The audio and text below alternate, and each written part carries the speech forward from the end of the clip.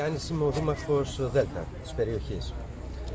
Έγινε μια επίσκεψη της ε, κυρίας Γεννηματά στην ε, ανοιχτή δομή Αναγνωστοπούλου και μια συνάντηση που είχε με την προϊσταμένη και με το προσωπικό που υπηρετεί εδώ πέρα τη δομή και με εμένα που είμαι ο, ο Δήμαρχος που φιλοξενεί αυτή την δομή. Τα προβλήματα που μπήκαν και από την πλευρά της προϊσταμένης είναι αυτά που αφορούν την εσωτερική δομή, την υπερφόρτωση ουσιαστικά του ΚΑΠ, τους πάρα πολύ αδήλωτους οι οποίοι υπάρχουν στην ευρύτερη περιοχή, είναι υποσυτισμένοι και έχουν μπει μέσα στην κοινότητα των διαβατών, μέσα στο Δήμο Δέλτα. Υπάρχει τεράστιο πρόβλημα αυτή τη στιγμή. Υπάρχει και υγειονομικό, γιατί αυτοί οι άνθρωποι είναι αταυτοποιητοί. Δεν ξέρω να τους χαρακτηρίσω πώς ακριβώς να τους πούμε. Ε, προσπαθούν να βρουν στέγη και τροφή.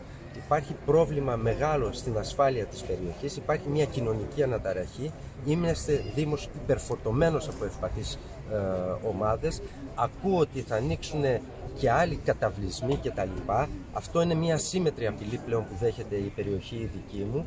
Ε, είναι δυσανάλογος ο πληθυσμός των μεταναστών που κινούνται στην περιοχή. Είμαι πλέον αντίθετος σε ό,τι θα συμβεί από εδώ και πέρα στην υπερφόρτωση και της υπάρχουσας δομής και άλλων πιθανών που σκέφτονται να ανοίξουν στην περιοχή αυτή. Δεν φτάνει, δεν πάει άλλο, ε, υπάρχει πρόβλημα μεγάλο, η πολιτεία πρέπει να σκύψει, πρέπει να γίνει αστυνομικό τμήμα ε, στην περιοχή. Πρέπει να υπάρχουν μηχανοκίνητες και πεζές περιπολίες για να αισθάνεται ο πολίτης ότι είναι σε μια ευνομούμενη χώρα, να μπουν απευθείας δρομολόγια για να εξυπηρετούνται οι πρόσφυγες, ώστε να μην κατεβαίνουν μέσα στον οικισμό, γιατί ο οικισμός είναι 300 μέτρα από την δομή αυτή. Είμαστε οργανικά δεμένοι, άρα η πολιτεία πρέπει να το δει και να υπάρχει καταμερισμός οι πρόσφυγες να κατα... πρόσφυγες μετανάστες πλέον, όπως και να τους πω, να κατανέμονται ισομερό και σε άλλες περιοχές. Δεν πάει να φορτώνουμε την υπάρχουσα περιοχή άλλο.